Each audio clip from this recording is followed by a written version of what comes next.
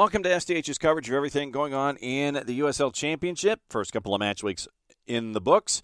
We'll go over what happened in the week that was, get you ready for the weekend that will be, and go through all of the news, notes, nuggets, and things left unsaid that have happened in the championship as we get you ready for a match, another match week coming up here in short order. Once again, no dilly, no dally zone, so we'll go straight to the action and what went down in the previous week. Starting all the way back on the 13th of of March on a Wednesday, El Paso three matches in a week. They end up at home with a 1-1 draw against Monterey Bay, and then have to turn around on Saturday and play the first match on Saturday, hosting Lou City. They would end up losing that one by the score of 1 0. Loudoun United put three on the board, beating North Carolina FC 3 1 at Segra. Indy 11 on the road at AutoZone beat Memphis 901 by the final of 2 1. Then history was made at Burns Stadium on the campus of Bryant University. The Bryant Bulldogs, the host for Rhode Island FC in season number one. Rhode Island had their first home match against New Mexico United. Here's your highlights, courtesy of our friends at the USL Championship and YouTube. History is made in Rhode Island. Rhode Island FC's first ever match in club history is underway against New Mexico.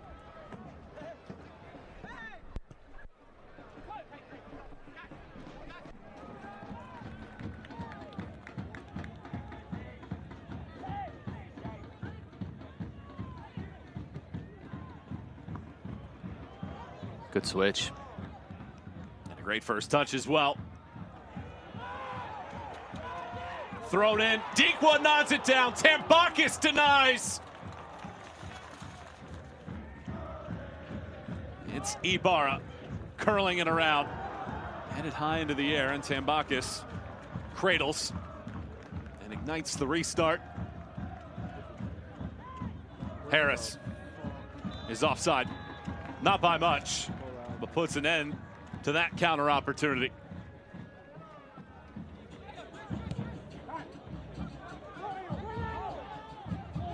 Flanagan erased.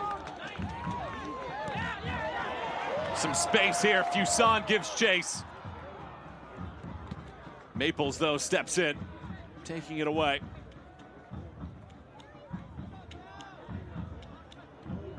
The throw from Tambakis, a little errant. Bodies collide. Holstad takes aim! It crushes the left bar. The crowd buzzing. Brito. Kwizera. If that ball would have found the rope, you talk about a highlight to begin franchise history for Rhode Island. Ibarra swings it in. Bodies colliding. Tambakis wanted a foul. Turnbull twists it in. Second shot hits the bar again. A header goes high. Holstad will be wondering what he has to do to buy a goal. This is a lovely strike. And then it just is inches away as the ball bounces off of the turf. It makes it so difficult. It was a fun team to watch for those years that they played. And you knew it would not take long for those players to get gobbled up. Vegas picked up in November. The very first player in this franchise's history. That's an excellent turn. And it's a great poke. Fuson. Flag is down. Fuson. Tambakis again. Rhode Island throwing everything at the net. Tambakis denies. Years, and they have been there to answer every single time. Here's Reyes. Sends it over. Harris. Too long to the side there. And Ibarra and Vegas step over and push it away. Really should do better from that angle and that position. Micheletto, his corner kick in. Finds Gloucester. Once the right foot, trickles it in. Vegas picks it up. Back to the sideline. Rivas, the target. Keeps it in play. Sprints back in. Hits the chest. New Mexico clamoring for a handball.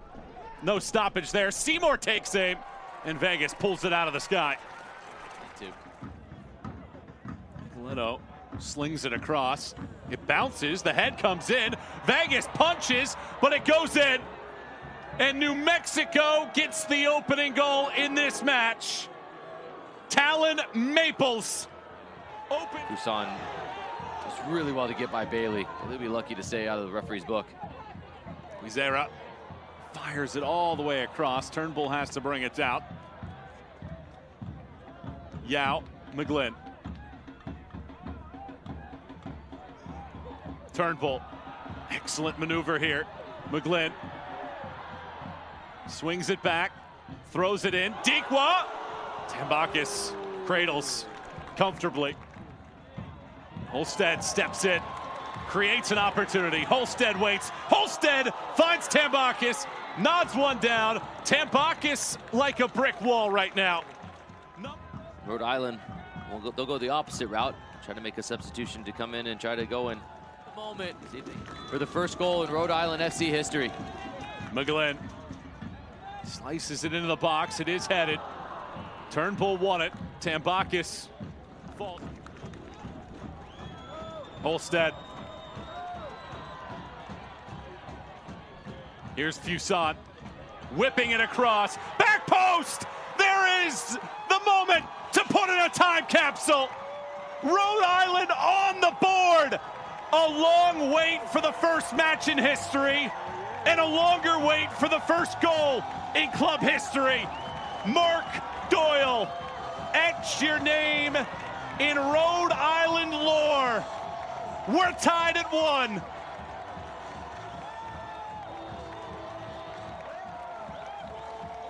We had to wait four years. Doyle off of the giveaway. Sadie sprints. Sadie cuts it back. Sadie, Tambakis punches away the first.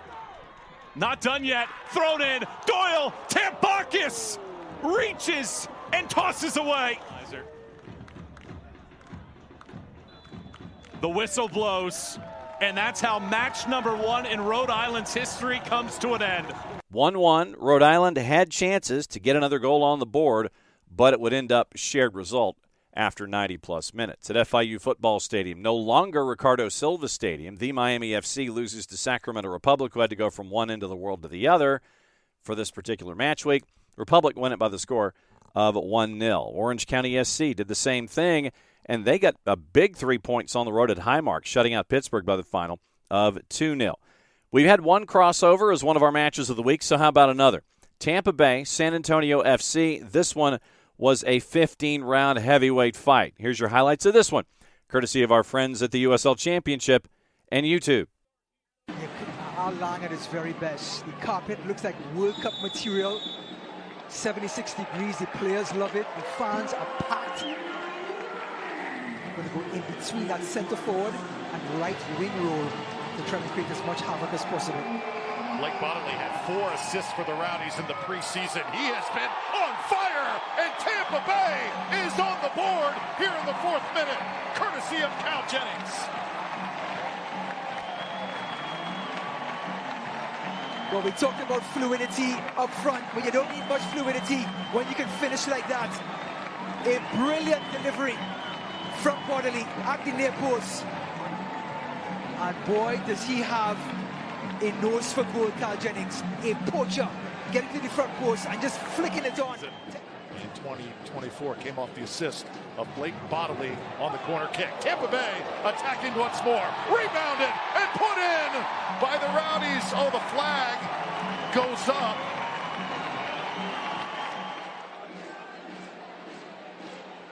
Doherty Jordan Doherty just before that end line. Here's Rivera now. Rivera makes his oh. move, cuts it back, shot oh. is on. Just over the crossbar, but very creative, crafty stuff by Damian Rivera.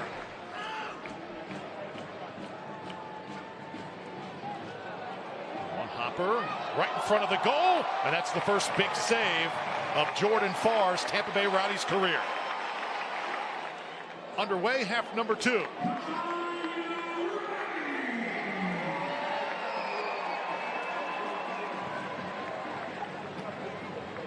Cal Jennings shoved out of bounds as he puts that one in play. Here's Niyongabire attacking. He has got some room to work with. Sends it on the ground. Pablo Sisniega. Went across the goalkeeper, but just safe hands by Sisniega.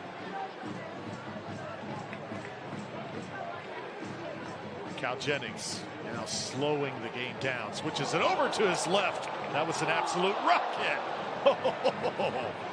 Getting up in the air. I believe that was Arteaga who attempted the bicycle kick. Didn't quite have enough there to square it up. Again, we saw Cal Jennings switching back onto that left foot. Great technique. Good save again by the keeper. Tampa Bay fans holding their breath here in the opening minutes. At point blank range.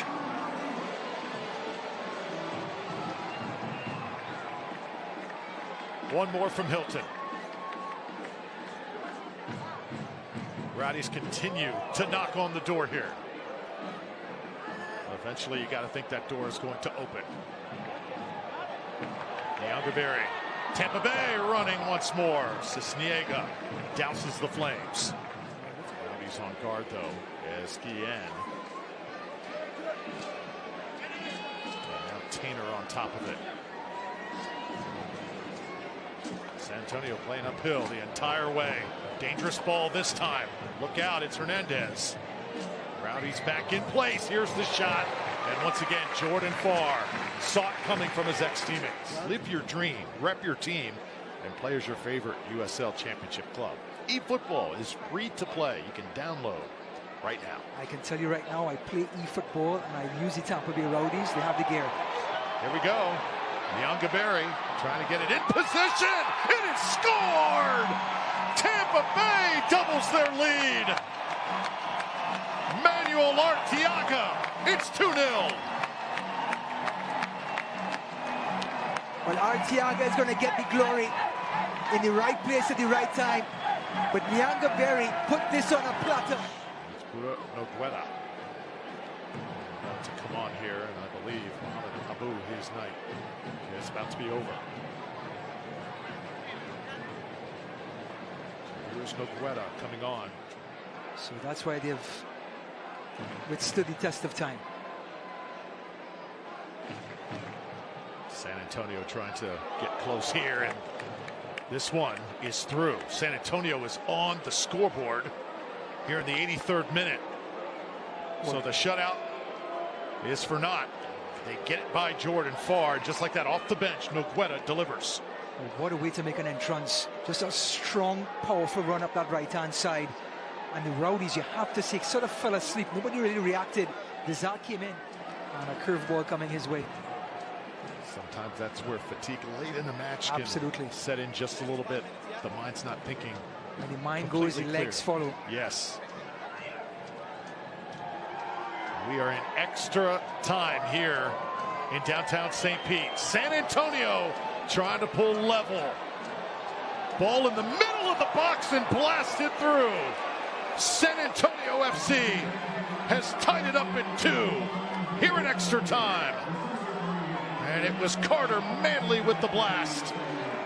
Well, we all talked about Manley and his 1v1 versus Rivera. Look at him showing up at the last minute to get the equalizer. Nothing pretty. Ball played into the mix-up. Rowdies do not handle it.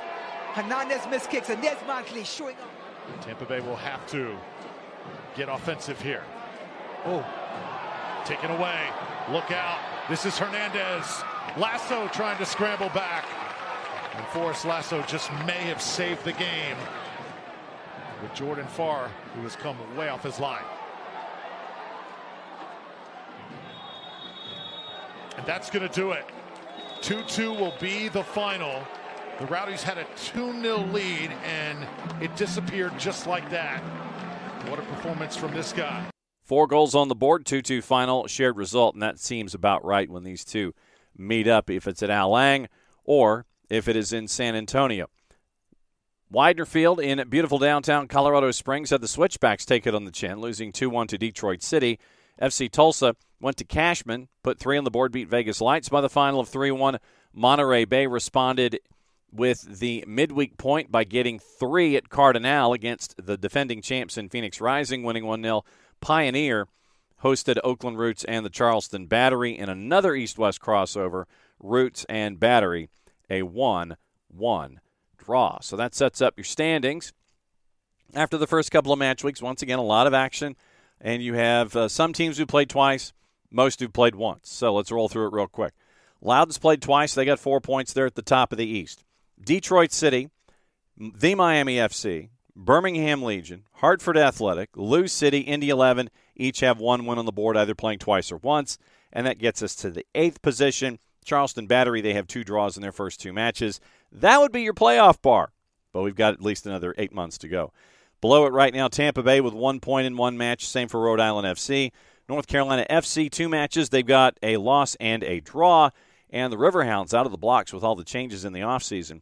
0 for 2 out of the blocks, minus 3 in goal difference, and they are last in the East. In the West, two matches have been played by most of the teams in the West Orange County, Sacramento, Oakland Roots, Monterey Bay, New Mexico United, all with two matches and four points. FC Tulsa and Memphis 901 each have three points. FC Tulsa has played one less match.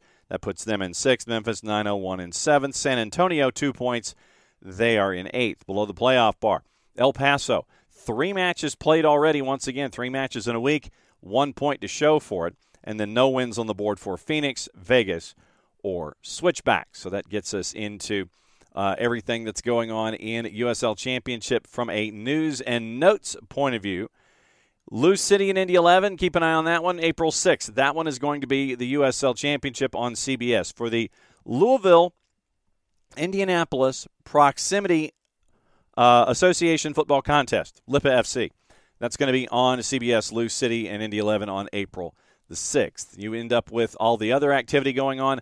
And one of the more interesting aspects of the news that came across the desk in the last week Roots are going to play next season at Oakland Coliseum.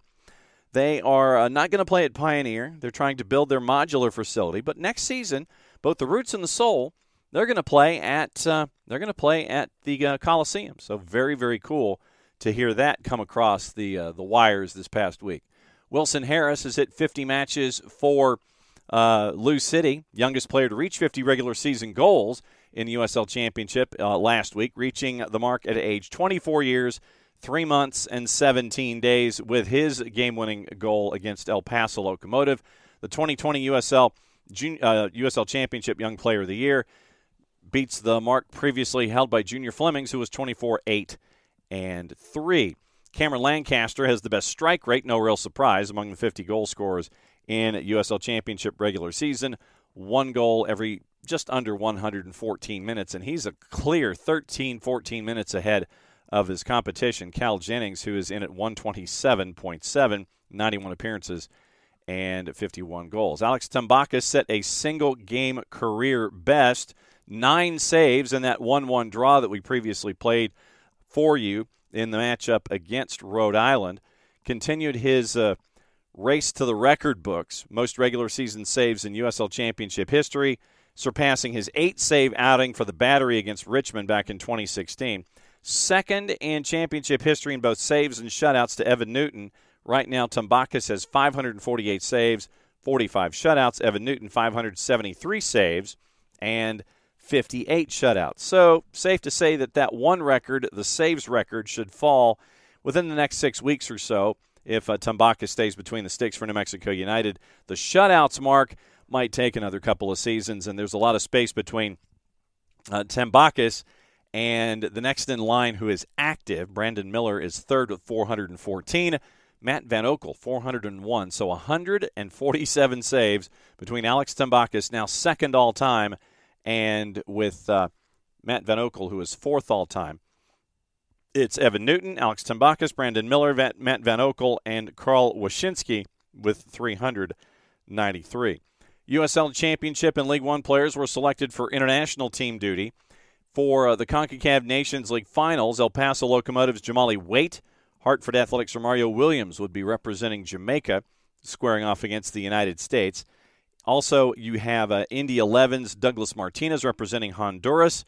In the Copa America qualifying, the final knockout stages there, Roots Neveal Hackshaw, San Antonio's Shannon Gomez, Hailstorms Noah Powder, and Real Gill, part of Trinidad and Tobago squad to face Canada in the other playoff match set for Saturday in Frisco, Texas. Joshua Ramos has been named to the U.S. Virgin Islands squad, playing a home and home against British Virgin Islands in the opening round of CONCACAF qualification for the World Cup to be held in the U.S., Mexico, and Canada.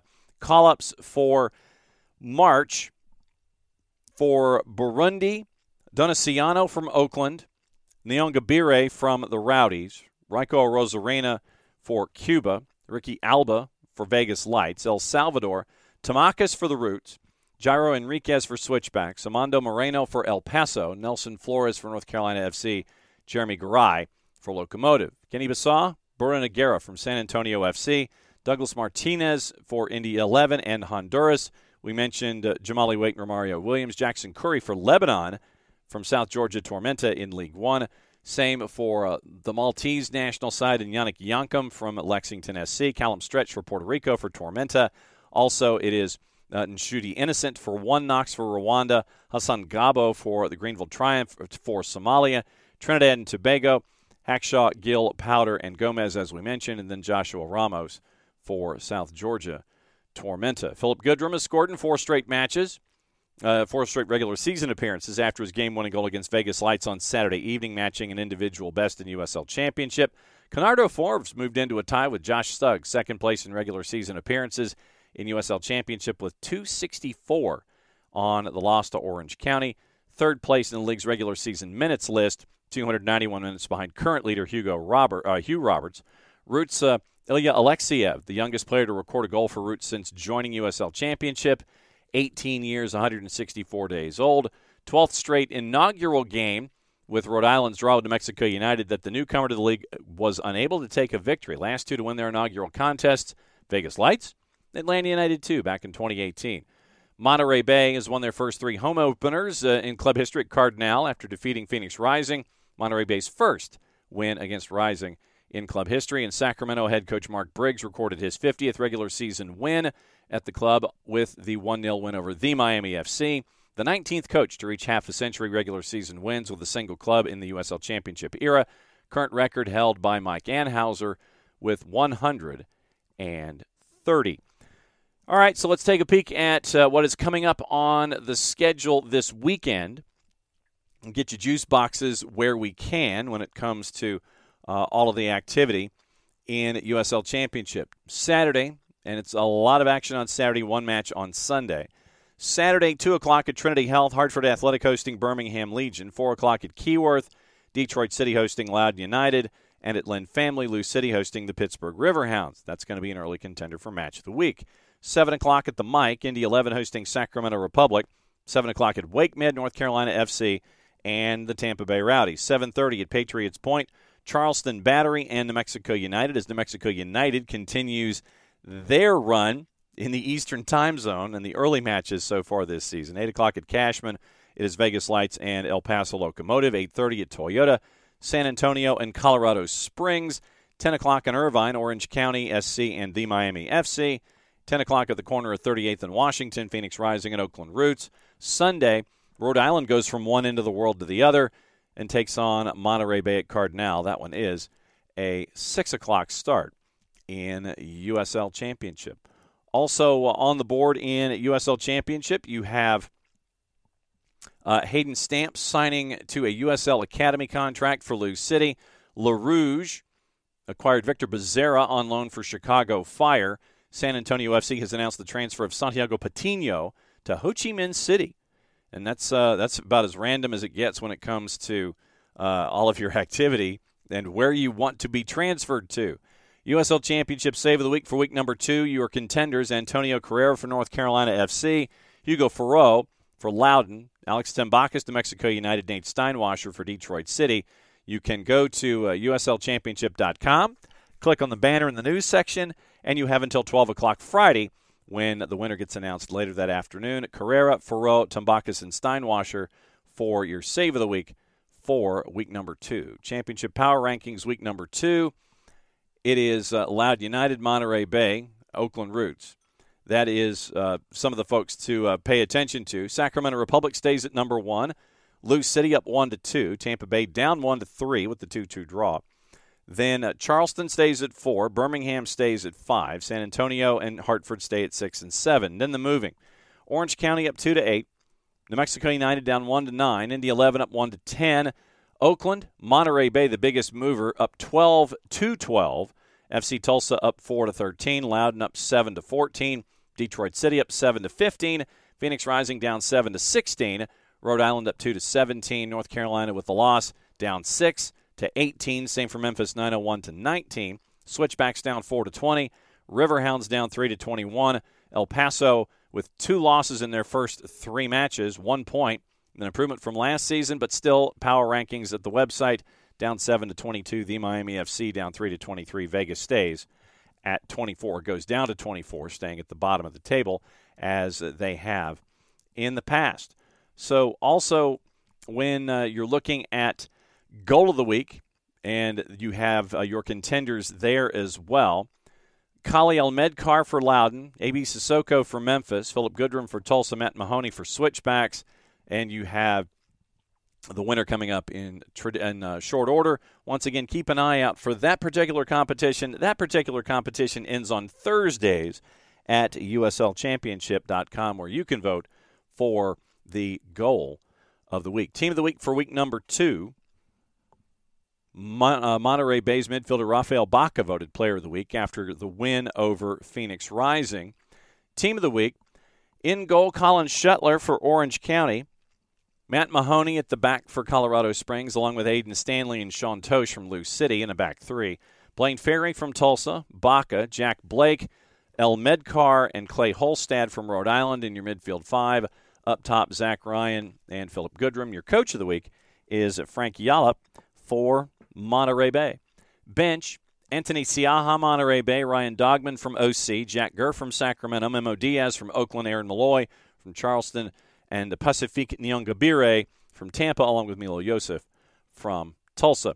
Juice boxes before we let you go and get you ready for everything going on in uh, USL Championship for week match week number three. And if there aren't any juice boxes, we'll let you know. But uh, juice boxes traditionally in USL Championship, we'll run through the favorites here for uh, Saturday and Sunday. Hartford on the plus side at a plus 141 over Birmingham, who's a plus 159. Detroit on the minus side at a minus 110, hosting Loudoun. Lou City at a plus 140, hosting Pittsburgh at a plus 172. Sacramento road favorite at Indy at a plus 129. Same for Tampa road favorite in Cary against North Carolina FC. Charleston a minus 132 hosting New Mexico United. El Paso at a plus one and a quarter at Cashman taking on Vegas Lights. San Antonio a minus 108 hosting Colorado Springs at a plus 240. Orange County minus 159 hosting the Miami FC, who's north of plus 400. Phoenix Rising a minus 108 hosting Roots at a plus 250. And Monterey Bay at Cardinal favored at home at a minus 104. Rhode Island is a plus 250. That's your quick rundown of everything going on in the USL Championship. If you would please, if you are in market, follow along on, and uh, you can see the matches in person. Go see the match in person. You get to see the uh, next wave of talent coming through in the United States through the USL Championship. If you are in market, can't make it, follow along on local providers. If you're out of market and can't make it and want to follow along with what's going on in the league. All of the different entities where you can watch games, listen to games, please do so, and continue to boost all the talent in the USL Championship. For everybody here at SDH, I'm just John. Played safe, everybody. Enjoy your time with USL Championship. We'll catch up with you next week.